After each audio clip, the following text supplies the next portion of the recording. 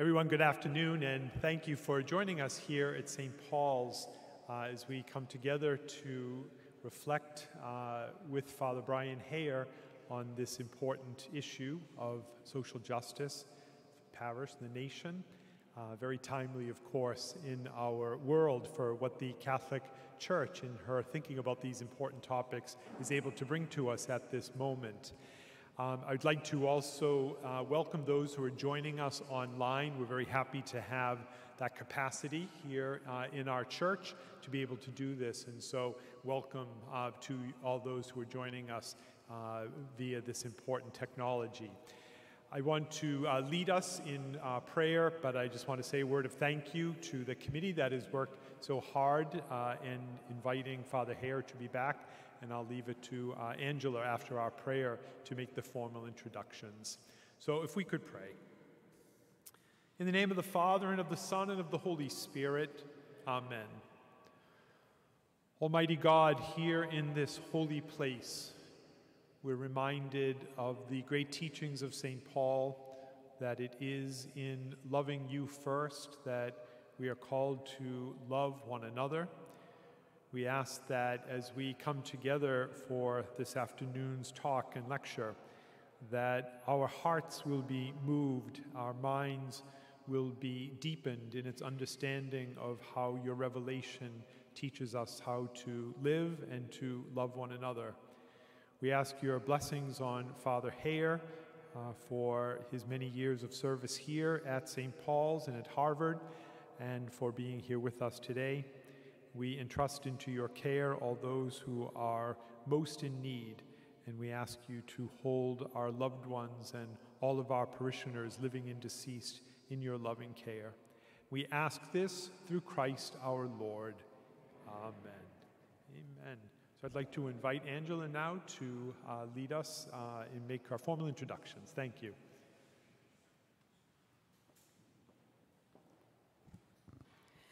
Thank you, Father Kelly. Good afternoon. As Father said, my name is Angela Jones.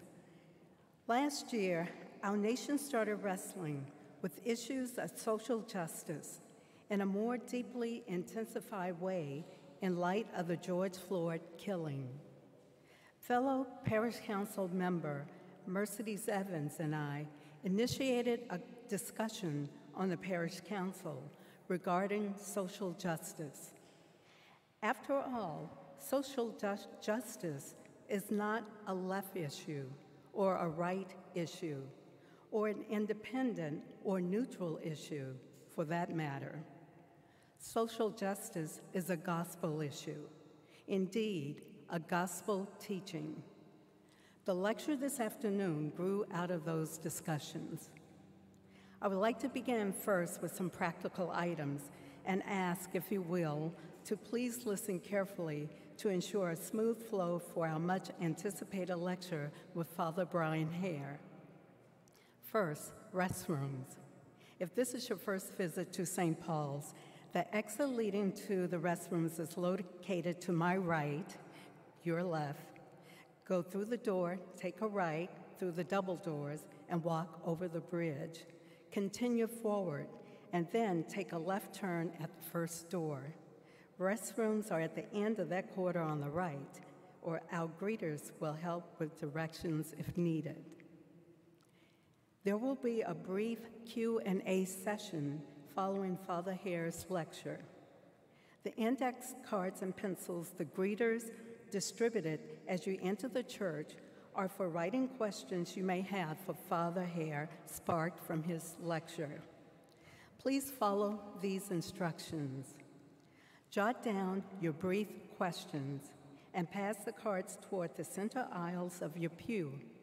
The greeters will collect the cards starting at the front pews at precisely 345. Jerome Marion, We'll quickly scan the questions and select a couple to ask Father Hehir, starting at 3.55. Our time is tightly calibrated because we must finish the Q&A portion and leave the sanctuary no later than 4.25, when preparations for the 5 o'clock student mass begins. In addition, please return any blank cards and all pencils to the containers with the greeters. We need to leave the pews tidied again for the next Mass. Thank you for your cooperation. Unfortunately, we will not be able to take questions from our virtual audience. This afternoon's event is being recorded and will be posted on the St. Paul's Harvard Square YouTube channel. Please share with others who were not able to join so they can access the event beginning in a couple of days through the St. Paul's Harvard Square website or YouTube. While there, please subscribe to our YouTube channel. Last, immediately following the lecture, we will host a reception in DG Funning Hall.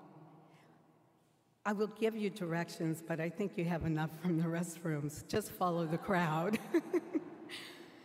okay, thank you for listening to these practical details. Our speaker this afternoon is very familiar with the busy details of St. Paul's parish life. Father Bryan Hehir is a former St. Paul pastor and senior chaplain of the Harvard Catholic Center. He grew up in Chelmsford, Massachusetts. He earned his, B, his AB and Master of Divinity degrees from St. John's Seminary and his Doctor of Theology from Harvard Divinity School. Father Hehir is an internationally renowned theologian who served many years in a major staff position with the U.S. Conference of Catholic Bishops in Washington, D.C., and has taught at the National War College in D.C. He has served as president of Catholic Charities USA and as president of Catholic Charities for the Archdiocese of Boston. He has taught at Georgetown University and Harvard Divinity School, where he served on the faculty as professor of the practice in religion and society and as interim dean and dean of Harvard Divinity School. Father Hehir was named a MacArthur Fellow in 1984 and received the Laetare Medal from the University of Notre Dame in 2004. Father Hehir is Secretary for Health and Social Services in the Archdiocese of Boston and continues to teach as the Emeritus Professor of the Parker Gilbert Montgomery Professor of the Practice of Religion and Public Life at the Kennedy School of, Government at Harvard University. Today's lecture is the first of a two part series. The lecture today is The Catholic Social Tradition Sources, Structure, and Specific Issues. Please join us on October 31st for the second lecture Racial Justice The Challenge for the Church and the Nation, delivered also by Father Hehir. Father Hehir has led an illustrious career and continues to lead in a way that inspires, enriches, and informs. Despite his numerous accomplishments, I believe what holds him so dear to people is that he is accessible, a great listener, confessor, educator, theologian, and friend. He certainly demonstrates his faith by his works. Please give a warm welcome to my former professor at Harvard Divinity School, Father J. Bryan Hehir.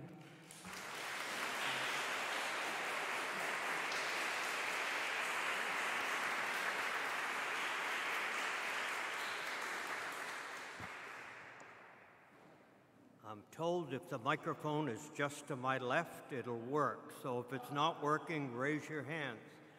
So I am always delighted to come back to St. Paul's. Uh, I hold wonderful memories of my time here when I was a graduate student and when I served as pastor. And it's a delight to be inter- inter- introduced by Angela Jones, who was a parishioner here, and I see her at St. John's in Wellesley also, where I help out in that parish now.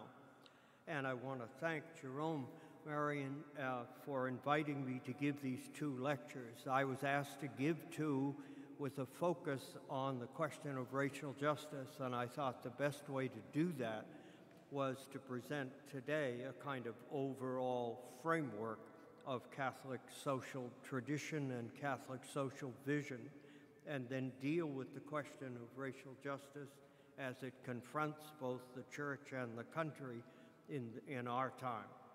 So let me proceed with today. Uh, I, the title is Catholic Social Vision. Oftentimes, whenever we talk about social justice in the Catholic Church, uh, we use the phrase Catholic social teaching. Catholic social teaching relates to a body of doctrine, papal in audience, that began uh, at the end of the 19th century uh, with Leo XIII, the Pope of the time, and continues up through the teaching of Pope Francis.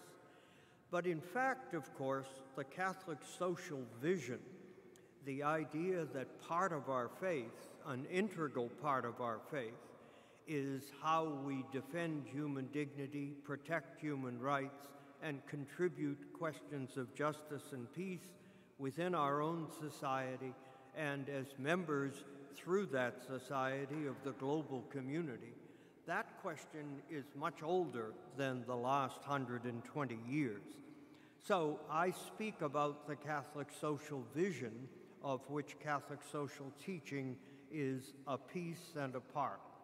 So I'll proceed through the lecture in the following way. I want to talk about the sources of Catholic social vision, where it comes from. I want to talk, secondly, about the structure of how that vision is shaped to engage contemporary society. And then, thirdly, I'll use specific issues illustrative of how the tradition speaks today.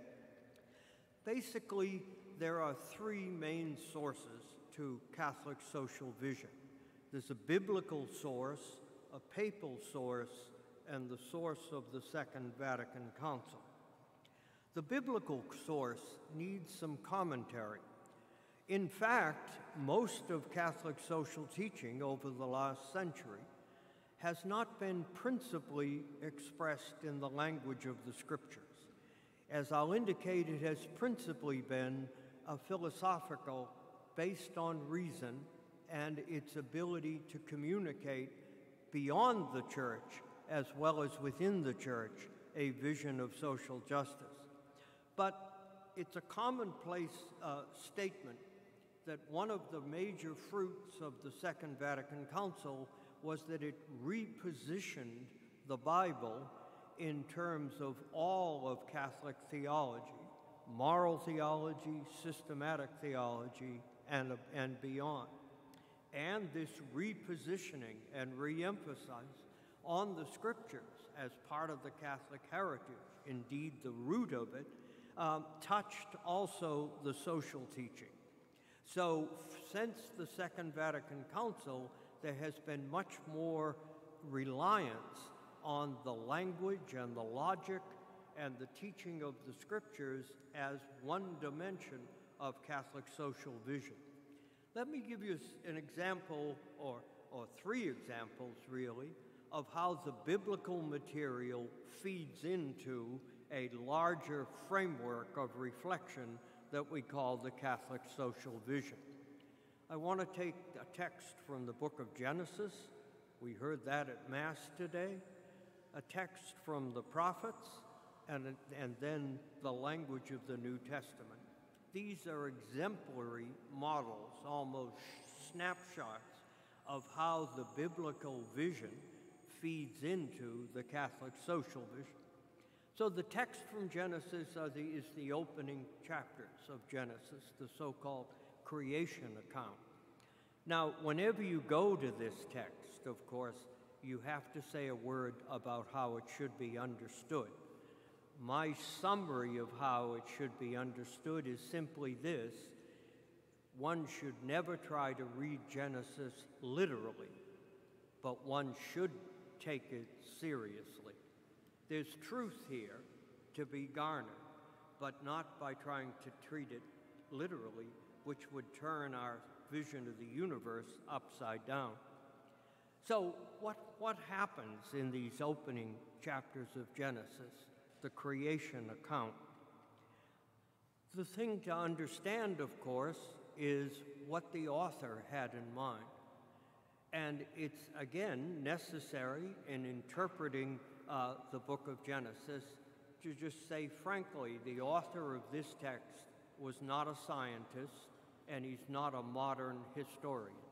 That is to say, the author of this text had no interest in solving the Big Bang problem, and the author of this text was not someone who wrote in the style of modern historiography with its attention to detail and factual verification. The author of the book of Genesis, I think, was a poet. A poet. Poets don't speak in syllogisms, they don't use quantitative data, but poets in every age, including our own, speak to our imagination. And through our imagination, they speak to our mind and heart. And so the book, the author of Genesis, I think, writes in the style of a poet, sweeping images that plant ideas in our minds and hearts. And one way to, de- to describe how he describes the author of the universe is, is that as you read these chap- this opening chapter of Genesis, it's like a great composer shaping a symphony. So God speaks and things happen. There is nothing and then there is light. From darkness to light, there is no life and then there's vegetative life and animal life. And so it goes that God builds the universe in this style of, if you will, a great symphony. And at the pinnacle of God's work, God says, Like unto me, I will make them, like unto me. From that truth, Catholic teaching draws the great cornerstone truth of our social vision, and that is the dignity of every human person. That every person is made in the image of God. Indeed, within the community of faith, we talk about the sacredness of the human person. That's language that I'll indicate in a couple of minutes we don't always use, particularly when we're trying to speak to a wider audience outside the church, because sacredness is a heavier, richer term, and without some consensus of faith, it may not register. But dignity does register. And so the first truth of Catholic social vision is that we are bound to protect the dignity of each person, and we are bound to go in response in different ways appropriate to our vocations, go in response to people in need, providing different ways of meeting people's needs. Nobody can do everything, but everyone is called to be sensitive to the needs of others. The first source, biblically, the dignity of the person. The second source, biblically, is much later in the history of Israel, and that is the time of the great prophets, roughly eight centuries before the coming of Jesus. The prophets were the moral conscience of Israel. The prophets were the ones who called Israel back to fidelity when they had strayed for whatever reason. The prophets had a fundamental message. They spoke it differently, but it converged on the same proposition. The prophets said, The quality of your faith depends upon the character of justice in the land. Where you stand with God greatly determines how we stand with each other. And so the prophets then were willing to go beyond that basic proposition and say, We will teach you how to test the character of justice in your society in every age. You should ask, How do the widows, the orphans, and the resident aliens fare among you? If you ask somebody from the Congressional Budget Office today who the three most vulnerable groups are in the United States, it's women, children, and resident aliens. The voice of the prophets is as contemporary as this morning's New York Times. The dignity of the person, faith and justice, and then, of course, the culmination of biblical truth in the person of Jesus and ministry of Jesus. And here we would have to go through the four gospel texts to demonstrate in multiple ways how Jesus, in a sense, thinks of himself as a continuation of the prophets, how in the grand, what's called sermon, uh, in the fifth great sermon of Matthew's gospel, the sort of judgment of the universe, he distinguishes who will get into the kingdom of God, and the test cases in so many instances are how we fed the hungry, clothed the naked, etc. So, biblical foundation, part of the Catholic social vision, Genesis, the prophets, and the New Testament are exemplary of a much larger thematic richness that is available to us. Pope Francis is the Pope who, who uses the scriptures in his social teaching more extensively than any of his modern predecessors. Although, as I will indicate, several of his predecessors since Vatican II have used it. But let me go to the second source of Catholic social vision. It is papal teaching. This is the body of documents that I described earlier, rooted from the late 19th century and coming till today. In this area of life, the papacy has been a catalyst for the whole church. In some other areas of life, it was scholars and activists and others who, in a sense, pushed the papacy to, to deal with different issues. But on this question in the 20th century, the papal teaching uh, was catalytic for the whole church. And what's interesting is that most of that teaching, certainly up through till Vatican II, was expressed in a philosophical mode. And the philosophical mode was the school of natural law, the argument that as human beings we share certain essential characteristics, principally the capacity for understanding and self consciousness and the capacity for free choice. And that those two characteristics, in a sense, are where our dignity is rooted in philosophical terms. The papal teaching essentially moved into a philosophical mode for two reasons. On the one hand, pluralism, on the other hand, complexity.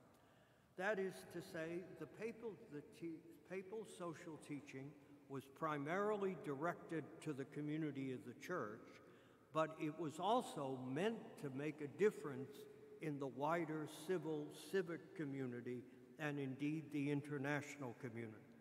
And so, one of the reasons for moving to a philosophical mode of argument was to find a way in which those who did not share our faith would find our moral teaching appealing and useful. The first use of the philosophy was in terms of pluralism. The second use of philosophical discourse was as the papal teaching and the social teaching generally was meant to enter the fields of politics, economics, law, and international relations. The broad, sweeping imagery of the scriptures can move one's mind and heart but they might not be able to penetrate in specific terms what our obligations are. It is one thing to speak the language of the prophets about justice and social justice. It's another thing if you're trying to design the fairness of the U.S. tax system. You have to enter into another mode of discourse with a different set of analytical tools. So both pluralism and complexity in a sense, invited the church to use a philosophical mode of discourse. The most clear expression of that tradition, the most clear expression of it in the 20th century, was the encyclical letter Peace on Earth of John the 23rd in 1963. He took a tradition that had been developing for centuries and crystallized it in one single uh, encyclical letter. So Vatican II becomes a turning point in the sources of Catholic social vision. On the one hand, the language of the scriptures, on the other hand, the language of philosophical argument come together.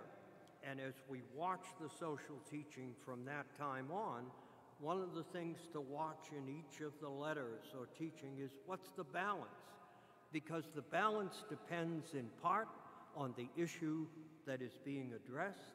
It depends in part on the background and orientation of the Pope who speaks, and it depends on how the teaching then is used in the wider church. So let me say a word about then the third source of the social vision biblical, philosophical, and then the council itself. The Second Vatican Council obviously was the major event uh, uh, in the history of the Catholic Church in the 20th century. And it was, as I've indicated, a turning point in terms of how our social teaching was expressed. But it also did more than that. Up until the time of the Second Vatican Council, the social teaching of the Church existed and developed. It was taught in colleges and universities under Catholic auspices, and hopefully it was preached from the altar. But the fact of the matter was that the social teaching was sort of looked at as an, I would call it an option. In other words, there were certain things that you had to believe in order to be Catholic. But the question of the social teaching tended to be on the edge in those days, in the 1930s, 40s, and 50s, there was a group of priests in the church that were called the labor priests. They were the ones who dedicated their lives to the social teaching in the area of social and economic justice. But the labor priests spent a good part of their life justifying their existence because they were different than the other priests. And so this, this idea of the social teaching was real but it was tended to be at the edge of Catholic life, tended to be kind of like for extra credit for some people. What happens with Gaudium et Spes, the document of Vatican II that, uh, that was the heart of, of the social vision at the council, is that the social teaching moves into the center of Catholic teaching. The document itself was quite different than the philosophical arguments. The document Gaudium et Spes is biblical in its roots, ecclesiological in its meaning, and filled with theological arguments that invoke faith and reason together. So, what happens coming out of the council is you now have an ecclesiological foundation to the social teaching in both its biblical and philosophical mode. These are the three sources uh, of the uh, abiding uh, Catholic vision, if you will. You can talk about, if one wishes to do so, you can talk about uh, the first biblical model as the heir of the council, the philosophical model, the heir of the papal teaching and together they make up the inheritance of the social teaching today. So, with those three background issues as our sources, let's turn to the structure of Catholic social teaching, how we blend uh, faith and reason, scripture and philosophy. And here I have to be synthetic in trying to summarize a long tradition. But there is, there is a way of summarizing the core of the Catholic social teaching from which it then develops in multiple directions. The core synthetic vision, I think, is a three step process. The beginning of the Catholic social vision is protecting the dignity of the human person. Now, here it's interesting the way in which the biblical theological reinforces the philosophical.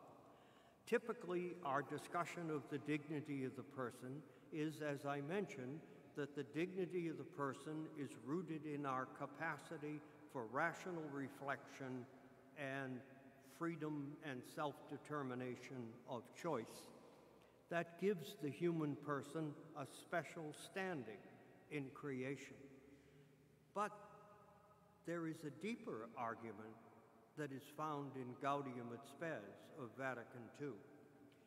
This long document, the final document of the Council, the one that provides the ecclesiological foundation of which I refer, this document has two main parts. They have four introduct- it has four introductory chapters and then a whole series of chapters on economics, politics, culture, international relations. But the four opening chapters, interestingly enough, are about first, a chapter on the dignity of the person. Secondly, a chapter on society, how we think society comes together.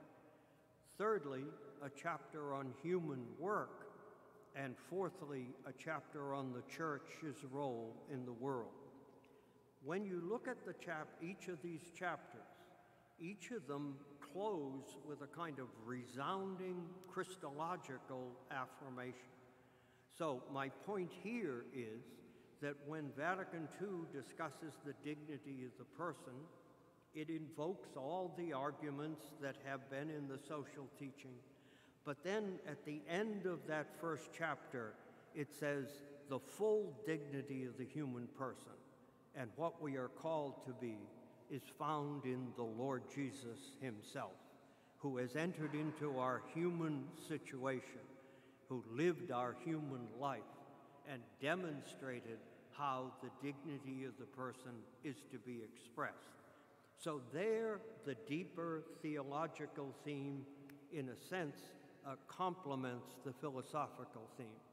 And when we get to the moral obligation to pay attention to the dignity of each person, in Catholic Christian terms, we can say the person is doubly consecrated. Consecra- consecrated by common creation. In my image and likeness I will make them, but now doubly consecrated in the Lord Jesus, who entered our human situation and made himself the brother of all who share human dignity. So the core of the social vision begins with all of that on human dignity. It then moves in a second step to the rights and duties in the moral order that should bind people together. Rights and duties, moral terms, in a sense, enter the social teaching. Uh, there is some of it in the Middle Ages, but it enters really with the teaching of the popes in the 20th century. Now, how do we understand rights and duties? Rights are moral claims to goods that are essential for human dignity. If I have a right to something, in a sense, I should have the capability of demonstrating that deprived of this good that I have a right to, the good may be uh, adequate wages, the good may be health care, the good may be social support of other kinds. If I have a if I have a right to this good, I need to be able to demonstrate that it is essential for human dignity. So rights are different than needs. I may feel I have a need for a Mercedes Benz, but I don't have a right to a Mercedes Benz. But certain goods, some of them political and civil, some of them social and economic, those two kinds of rights are the moral claims that protect human dignity. In American liberal discourse, rights are commonly cited and commonly used. What sets Catholic teaching off a bit from at least some authors in the American tradition is that we see duties as equal to rights. So there, that has two different meanings. On the one hand, if you have a right, I have a duty. Your moral claim lays a duty upon me. And as a citizen, I may be able, or we as citizens as a whole, may be able to lay claim on the government that we have needs that are rights and that the government has some responsibility to either protect them or fulfill them. So rights and duties are correlative. And indeed, the way in Catholic thought we develop the notion of rights is to say people have multiple duties and then they have the right to those things necessary to fulfill the duty. So if parents have a duty to provide for their children and their families, then they also have a right to an adequate living wage, as it was called in the tradition, that makes it possible to fulfill their duties. Now, I said that John the 23rd's letter, Peace on Earth, was the best articulation of the philosophical statement. And in what he does is to build again, almost again in the style of a composer, to build a series of chapters in the encyclical, all based on rights and duties. So he starts with the rights and duties of individual relationships. He moves next to rights and duties between the citizen and the government. He moves next to then the rights and duties among states in the international order, and he closes with a chapter that says, Here you have the individual there are rights and duties in individual, social, and international relations. The dignity of the person yields rights and duties. Rights and duties become the fabric that tie people together in political situations.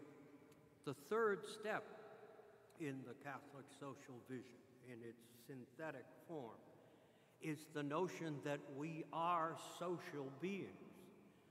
Thomas Aquinas argued that we are social by nature, not by choice. So, this again is a different conception than, say, a Hobbesian or Lockean conception of how society comes about.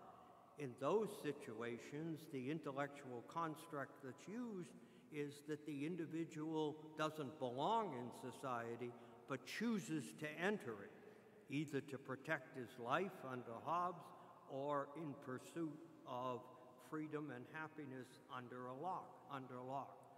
Well, our conception is that we are social by nature.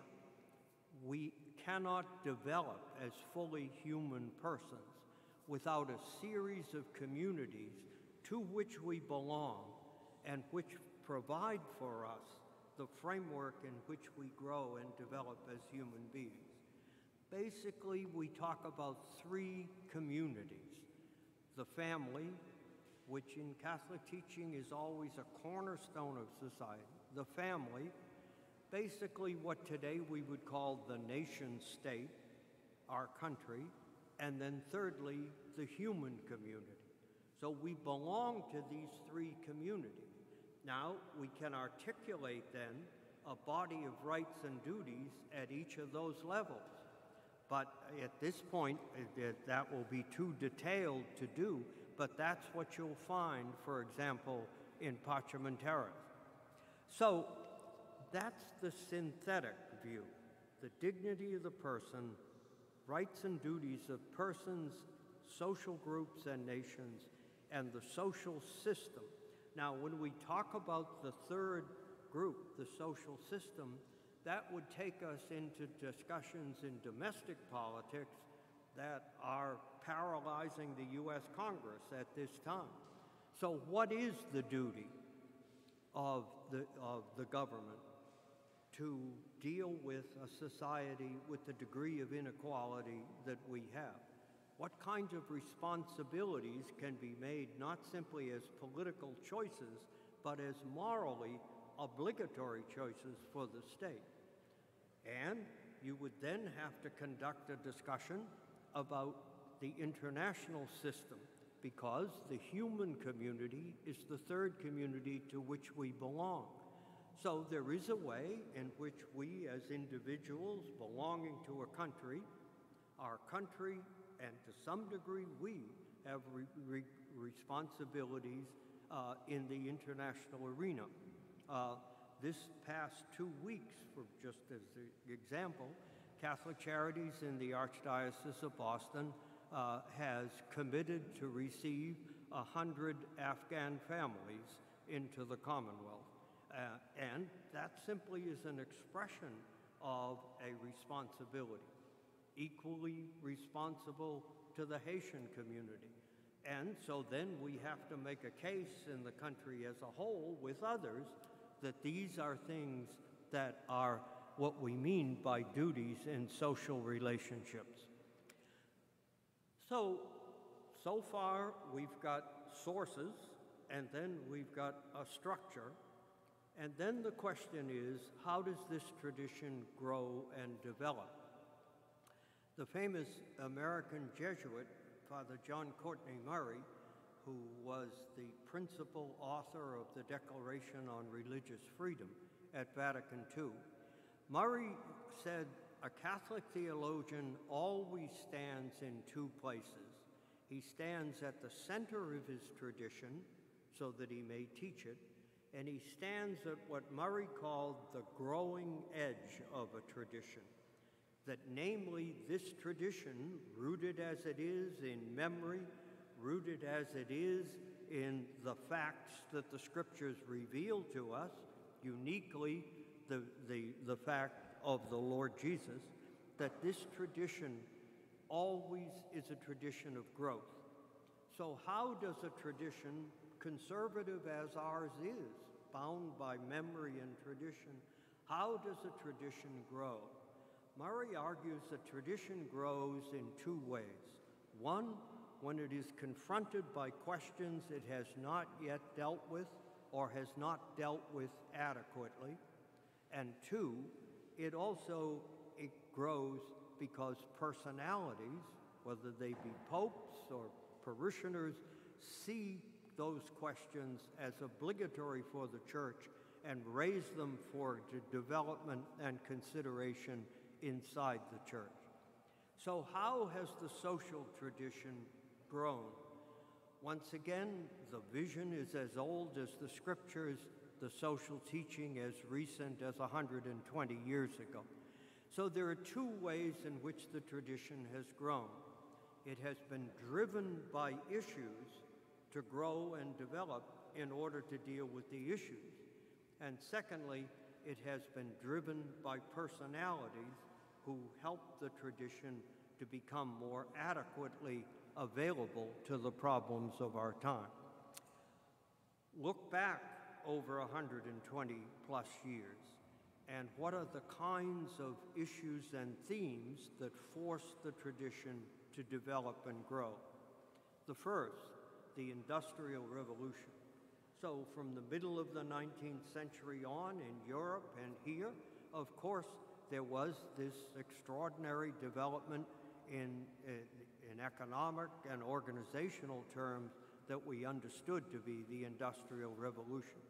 No question that it produced many goods and many uh, uh, advances for society, but it also produced huge moral problems. People that had no rights to organize in unions, no government allocation of a just wage, no ways in which workers were protected, or the question of distributive justice was adequately dealt with. And so, from the first two contributions uh, to the social teaching of the last century, the first two contributions uh, were Leo XIII and Pius XI, and they, uh, that, those two uh, uh, uh, papal documents were about the Industrial Revolution. They were about how you deal with the moral questions uh, of wages, workers' rights, the right to unionize, and the role of the government uh, in the social and economic uh, makeup of the country. Uh, think of the fact that uh, a famous Harvard professor, Professor Sam Beer, who taught government here for many, many years, taught John F. Kennedy his, his introduction to American government. Sam Beer once said that the U.S. government never accepted social and economic responsibility for people until the New Deal. Well, the church at least was ahead of that.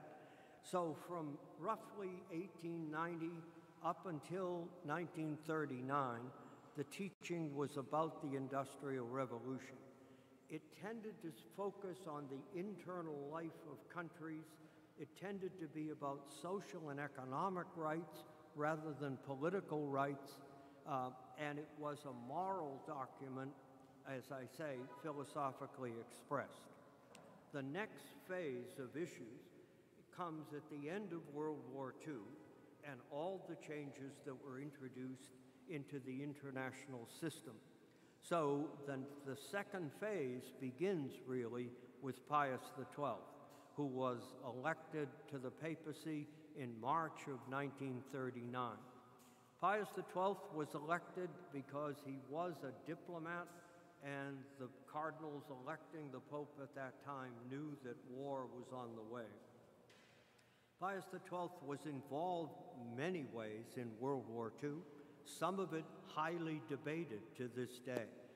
But on the question of the social teaching, Pius XII was a turning point in the tradition. Because after World War II, the famous French analyst Raymond Aron argued it was the first time in history that there was a truly global international system coming into being. And that global international system was, in a sense, totally disorganized. Pius XII, as a lawyer and a canonist and a diplomat, focused his, his attention uh, on the question of, uh, of how the international community might be organized. And so, in that sense, he was in the vein of the founding vision of the United Nations, of which the Vatican has been a part from the beginning. So, post World War II, you get a whole series of new issues decolonization in the global south, uh, the emergence of the Cold War, the nuclear age. Each one of these found treatment in the tradition. New questions put to an old tradition. Take the tradition on the morality of war. It has been with us in the Catholic Church since at least Augustine. But Augustine never faced, nor did his successors, face the question that the nuclear age posed, where human beings had a capacity to threaten the entire universe. Second stage of issues, internationalization. Third stage of issues that push development of the social teaching is what the, again, Harvard social scientist Daniel Bell called the development of post industrial society.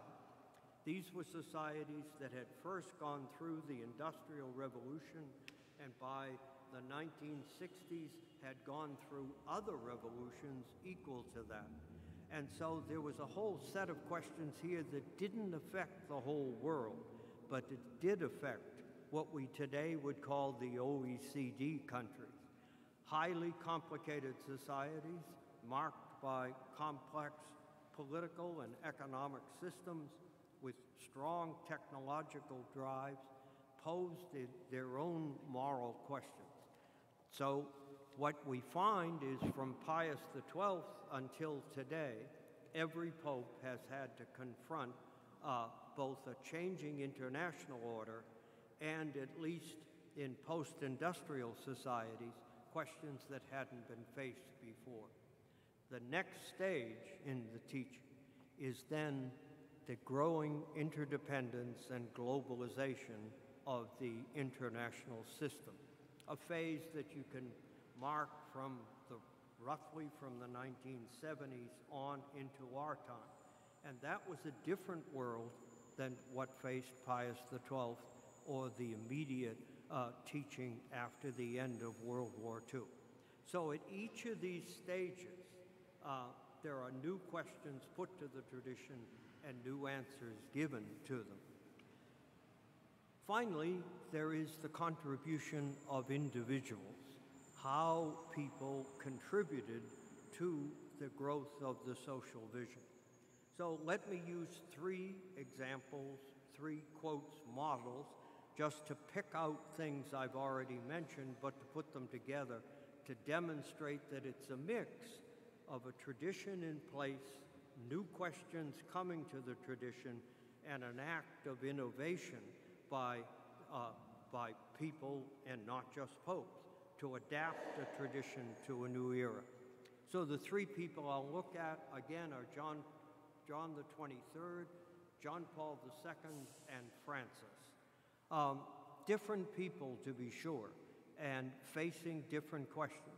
For John the 23rd, the great text for, he, for which he's responsible, I've already talked about Pacem in Terris, but John, the, John 23rd deserves credit for the two great documents of Vatican II the document on religious freedom and the document on the role of the church in the world, Gaudium et Spes.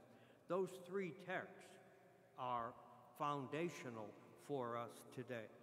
John the 23rd himself, as a matter of style, symbolized that the Catholic Church was willing to come to grips with the modern world, a fact that his 19th century predecessors, except for Leo XIII, were not willing to say.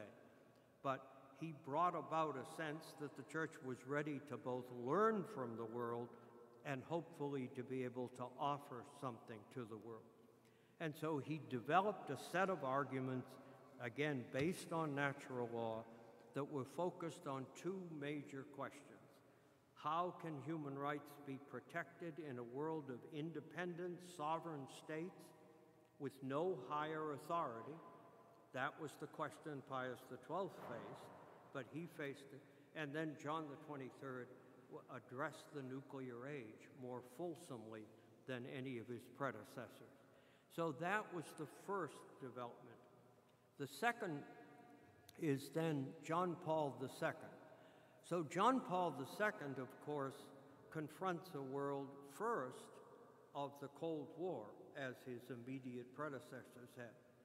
It is a consensus judgment, I think, by political analysts that he is one of the people not the only one, but one of the people responsible for the collapse of the Cold War because of the role he played in Poland. And so his style and substance cut across two different eras the end of the Cold War and the post Cold War world that emerges uh, out of the period of 1990s. John Paul II was basically, I think, in his style, like a global statesman. Uh, he had a way of arriving on the scene and dominating it because of the strength of his personality and to some degree the strength of his intellect. Um, the judgment on John Paul II often is that he was a very conservative uh, pope in terms of the internal life of the church but he wasn't a conservative pope in terms of the social teaching.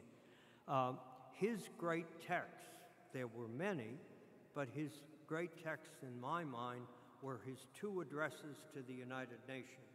One one year after he was elected, and another in the 1990s. Both of them were based on the question of human rights. Indeed, he made a move that could be debated in terms of whether you could carry it off.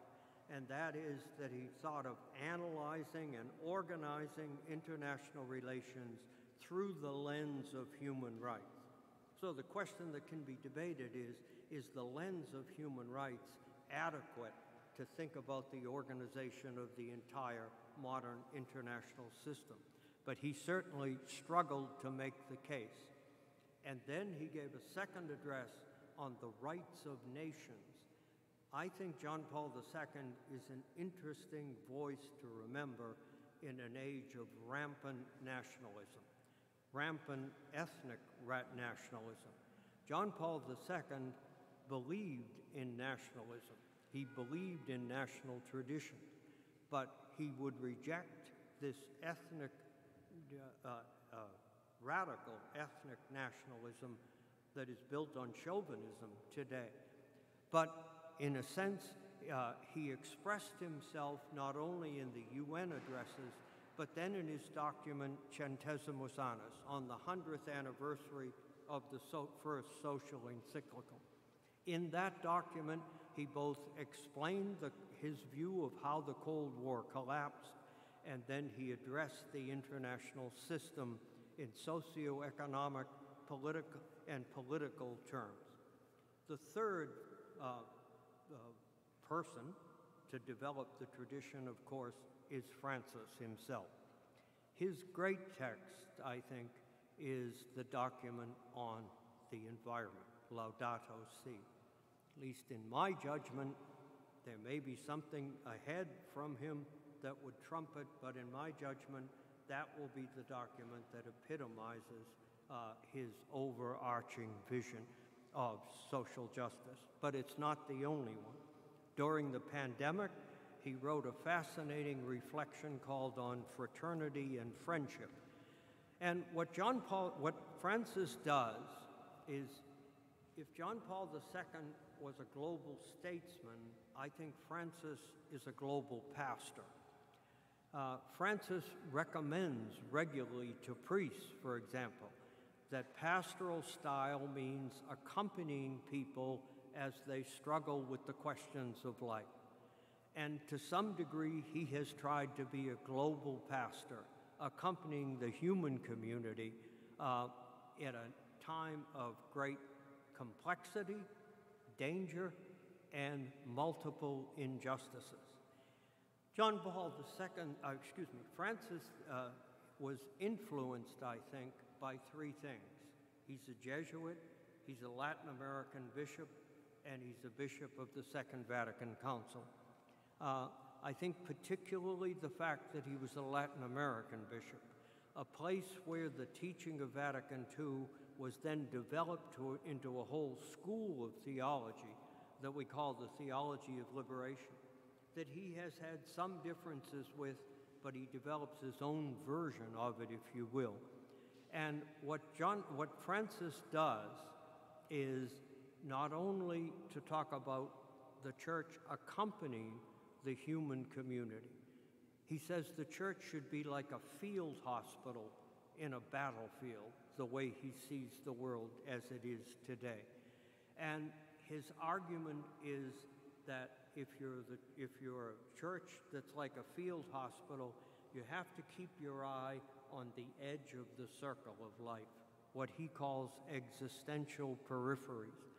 So, for example, on globalization, John Paul II saw globalization as a human creation, not an inevitable force of nature, but a human creation that could yield benefits and could do harm. And so for him, the idea was how we develop a set of moral norms to test globalization in terms of its motives, its methods, and its consequences. But he basically started from a fairly neutral view of globalization. I think Francis, as a Latin American bishop, has more cautious about globalization.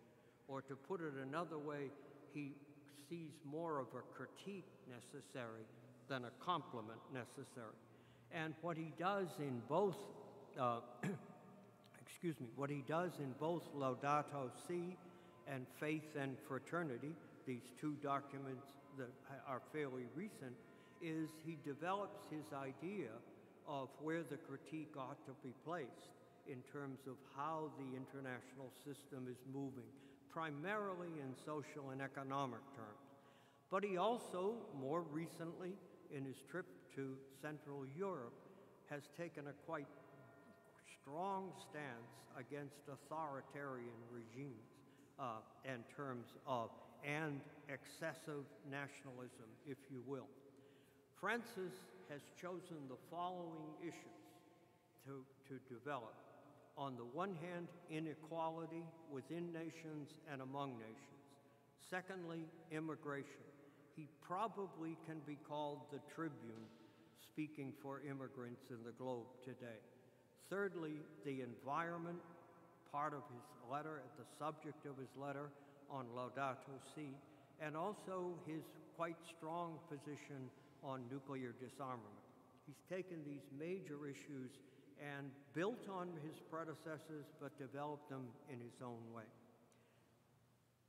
This is a quite inadequate summary of a very long tradition with great complexity, but it's an attempt to at least highlight the meaning of this tradition. And in terms of why this tradition is important to the Catholic Church, let me close with at least one scene that has always stayed with me. It happened at the end of World War II when Europe was trying to recover from World War II, when the, uh, the um, excuse me, the Holocaust was just becoming known. And the Dominicans in Paris invited Albert Camus, the voice of the French resistance, Nobel Prize winner, to come and address them as Dominican priests on his dealing with the fact of evil in the world from the perspective of how he described himself, which was basically an, as an agnostic. And Camus gave this talk to the Dominicans. He was critical of Pius XII on the Jewish question, but at the end of the lecture, he said, It may not be possible for us to create a world in which no innocent children suffer, but, he can, but we can create a world in which fewer innocent children suffer. And if we look to the Christians and don't find help, where else will we go? This tradition is important because people watch us. Thank you.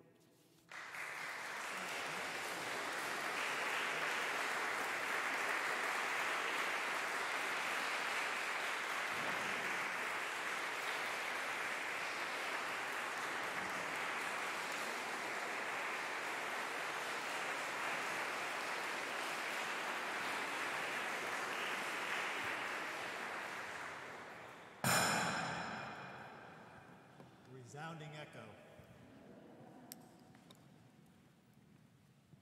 I think the first word that crosses everyone's mind is simply wow. From the oldest Old Testament Hebrew Bible prophets to this morning's New York Times or the paralysis on Capitol Hill, we just heard an extraordinary synthesis well as analysis.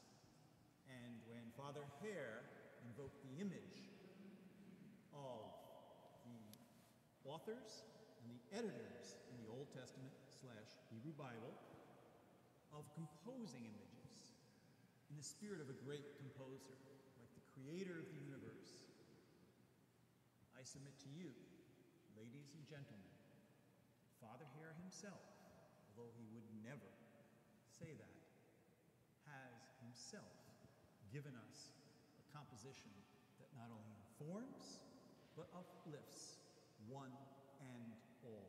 And for that, we say many, many thanks.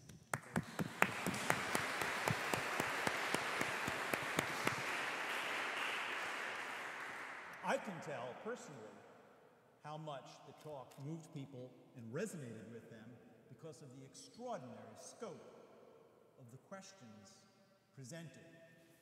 And because time is so short, I have the doleful duty of asking only a couple of those questions. What I have tried to do is pick a few questions that cover the spectrum. So if your question wasn't covered here, you have a couple of options. One is the reception, another is the second talk on the 31st of October. The first question is one that comes from the heart, probably, of everyone here. It reads as follows Father Hehir, can you please talk a bit about the difference between justice and charity? That is, that food, shelter, health care, etc., are a matter of justice and not simply a matter of private charity. Thanks for your talk. So, to answer this question, which comes up often, um, you have to make a couple of distinctions. Uh, one way to distinguish it is justice is what we owe people by moral obligation.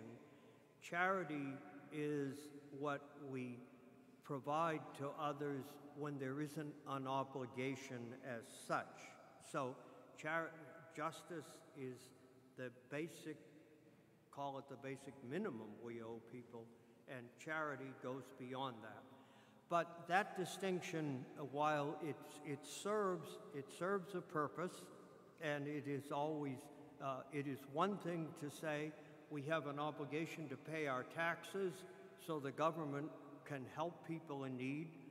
The question of whether we, we donate to Catholic Charities or Oxfam then becomes a question of charity. That's one way to put it. Another way to put it, a richer way to put it, is that charity is the form and the framework of all Catholic moral action. So, when we do justice, it is a form of charity broadly defined. When we tell the truth, it is a form of charity defined in another way. So there's a narrow definition of charity, sharing our what's sometimes called excess means with others. There's a broad definition of charity which says all of our morally right action is, is, is uh, motivated by charity. And then there is the obligation and justice. Now, the obligation and justice then has to be worked out step by step. There's an interpersonal level of justice when we enter into an implicit or explicit uh, contract with people uh, in one form, or simply go into a store and it says Hamburg at $10 a pound, we get the pound, we have an obligation. That's interpersonal justice. Secondly, there's distributive justice. That's the obligation between the citizen and the government. What the government's responsibility is to the citizenry, and there you have to get into human rights and what they are. Uh, and that's distributive justice. And then social justice, uh, as Catholic teaching says, and as John Rawls says in his book, social justice is about the basic institutions of a society and whether they are adequately developed and funded so the state can fulfill its responsibility to others. If the first question came from the heart, the second question very clearly is one that intensely divides law and academia. It's short, it's sharp. How do you tell a legitimate development of a right from an illegitimate one? Well, of course, the adjudication of that happens at different levels. Uh, first of all, you have to define the right in question. Now, as I say, my way of thinking about rights is they are a moral claim to a good that is essential for human dignity. So if somebody is claiming that X is a right, ask whether it fits that definition uh, whether it fits the definition that it's essential for human dignity. As I said, I have no right to a Mercedes Benz because I feel I should have one, but I do have a right to health care because health care is fundamental to the well being of a person. Now, the American public, the American Congress, and five administrations going on six have tried to develop a systematic approach to health care based on the notion that it's a right. It has accepted more today than it was in the past, but it is still where the fight goes back to. Is health care a need or a right?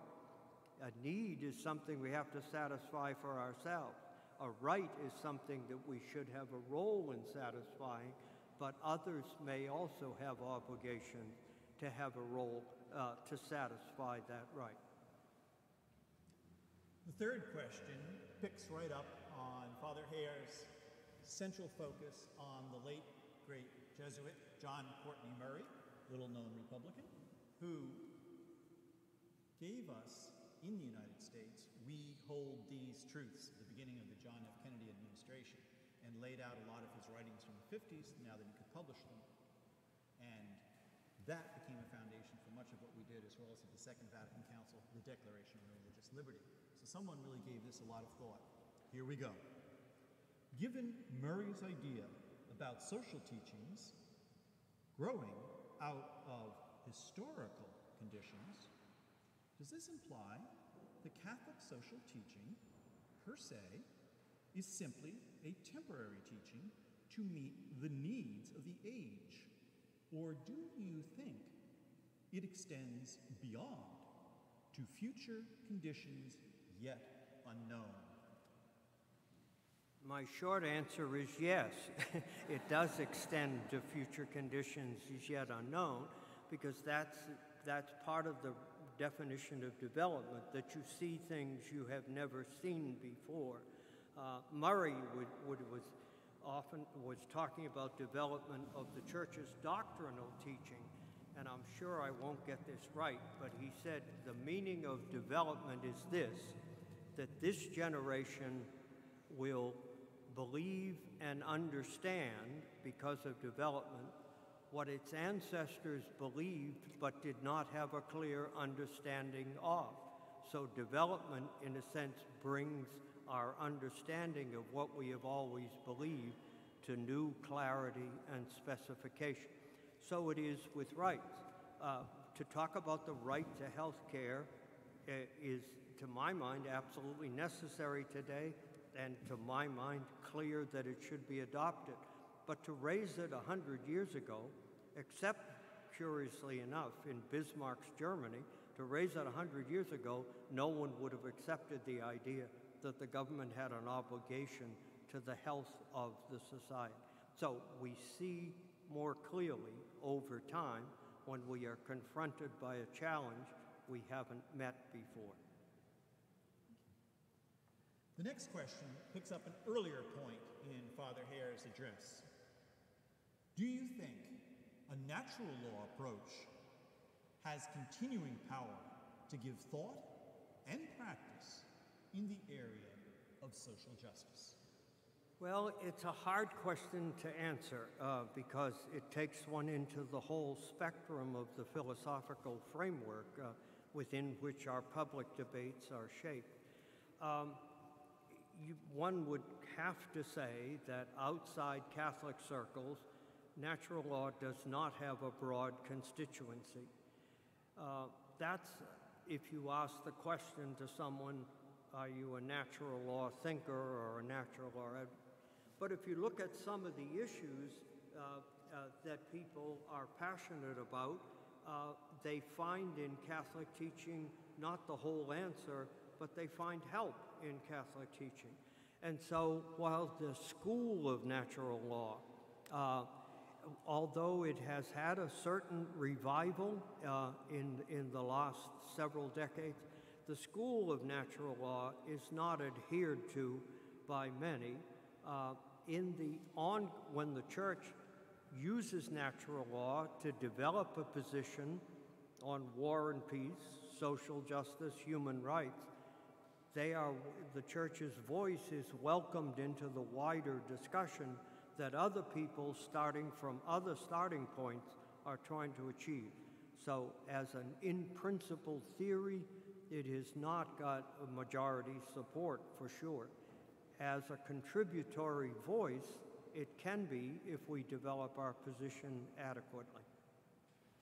Following right up on that answer, so this is almost uncanny, natural law has often been attacked, as many people here know, as being merely a Western tradition or merely, in modern times, a Roman Catholic tradition. A person from, if I may be so bold, East Asia, where these terms were not current asks the following question If natural law is one of the global sources of justice, then what is the relationship between your common good, quote unquote, and your social justice? Well, of course, this is a question that's not confined or asked only of the Catholic tradition. This is a question that comes up in basic human rights debates that have gone on since at least intensely since the 1970s. Now, if you go back to the UN Declaration on Human Rights, there was a committee of people who developed those ideas. Professor Mary Ann Glendon from the law school has a wonderful book uh, focused on, on Eleanor Roosevelt, but in its broader dimensions on the development of human rights. But one of the people on that sort of internal working group on human rights was the French natural law philosopher Jacques Maritain.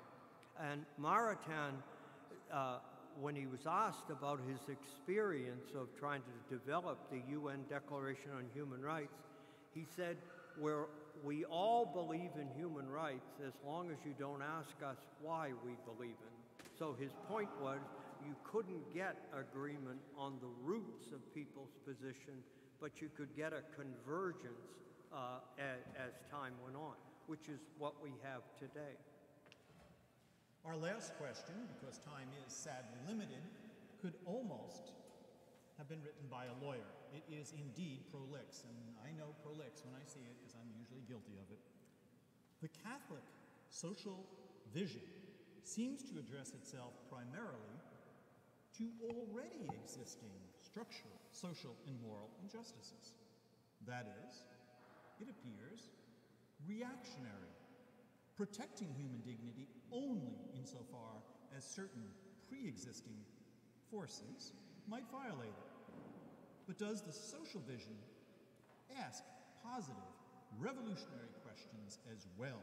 Does it recognize that some social injustices might always recur, symptoms as they are of a fundamentally unjust social structure?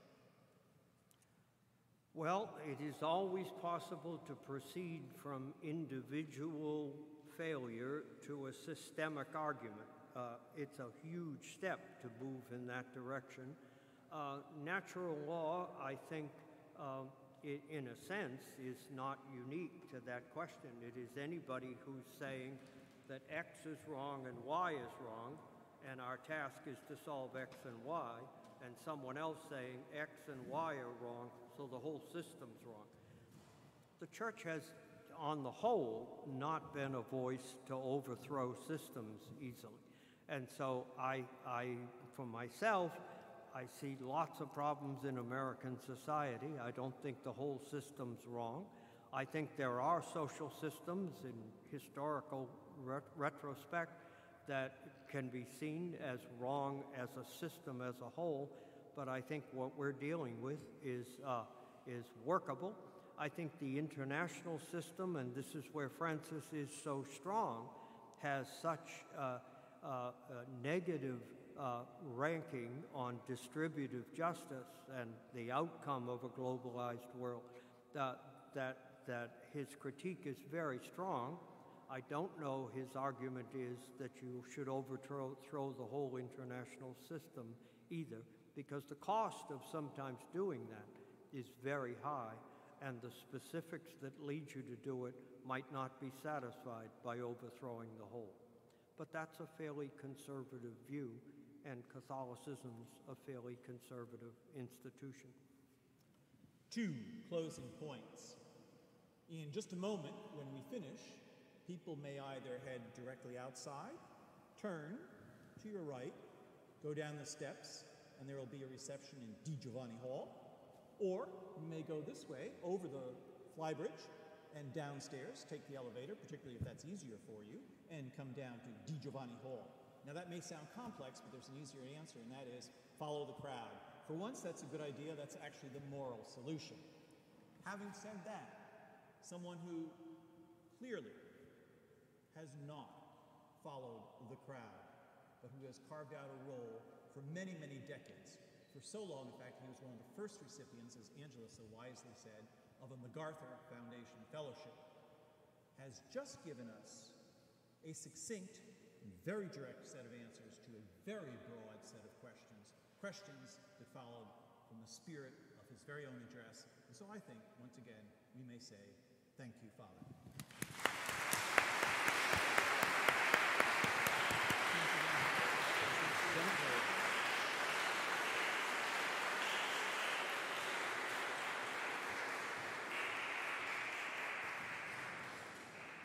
Now, if you want to head out that way or this way, let the reception begin. Thank you, ladies and gentlemen.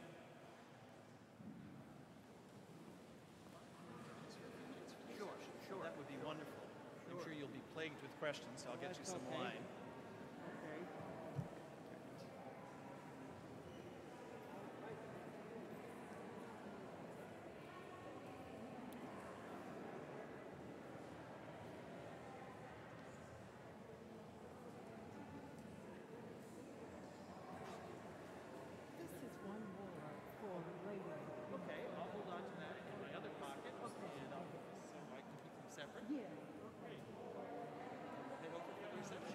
I'll walk you over.